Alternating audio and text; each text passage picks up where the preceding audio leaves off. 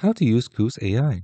Whether you're completely new to Kuse AI or just wants to unlock its best features, this video will cover everything you need to know. So make sure to stick around to the very end. So a brief overview. Kuse AI is an all-in-one AI tool designed to help with tasks like writing, image generation, and coding assistance, and even workflow automation. Think of it as your creative co-pilot that saves you hours of work. What makes Kuse AI stands out is its clean interface, variety of AI models, and focus on speed and accuracy. Whether you're a student, creator, or professional, Kuse AI is something for you. First, head up to Kuse AI and click on Sign Up. You can use your Google account or email. Once you're logged in, this is your main dashboard. On the left hand, you have recents, personal, projects, as you can see here, and library, as well as settings. The project tab helps you organize your work, which is super useful if you're juggling multiple tasks. So let's go into create project right here. On your left hand menu, you see tabs like library, note, text, YouTube, etc. Let's test the writing feature.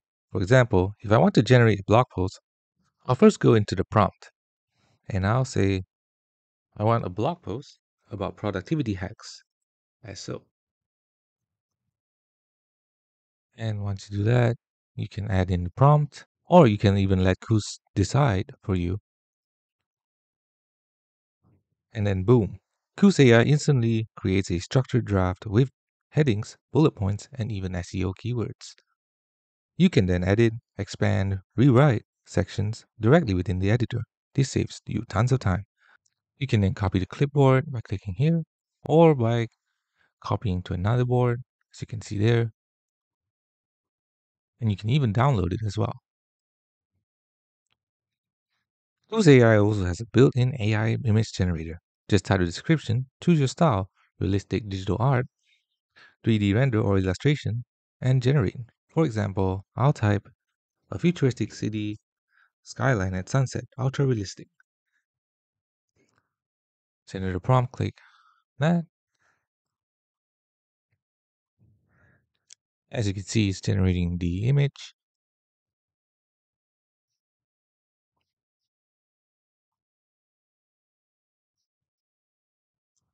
And here's the result.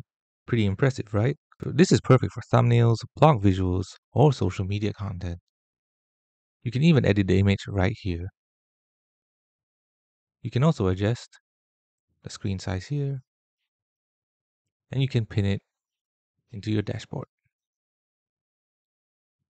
Another cool feature is AI code assistance. Kuse AI can generate code snippets, debug errors, and even explain complex functions. Here's a quick demo. I'll ask it to generate a Python script that fetches weather data from an API.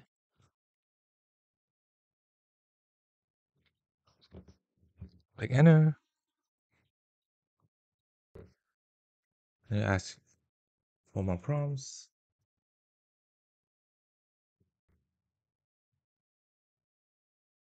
And as you can see, it will generate and instantly it gives me the code with step-by-step -step explanations. This makes it super helpful for beginners and even advanced coders who want to speed up workflows. Under the workflow section, you'll find automation tools. For example, you can create a pipeline where Kuse AI writes a blog post, then automatically generates a matching image and even drafts a social media post all in one flow. There's also a history tab where you can revisit your past projects so you never lose progress. And in the settings, you can adjust your subscription plan, language preferences, and dark mode for late night work. Here's a few quick tips to get the most out of Kuse AI. Be specific with prompts. The clearer your instructions, the better the results. Use templates for structured tasks like resumes, pitches, or scripts. Combine features. For example, generate a blog outline with the writer then create a matching image with the AI generator. And always review output before publishing. AI is powerful, but a human touch can make it even better. And that's a full walkthrough of Kuse AI.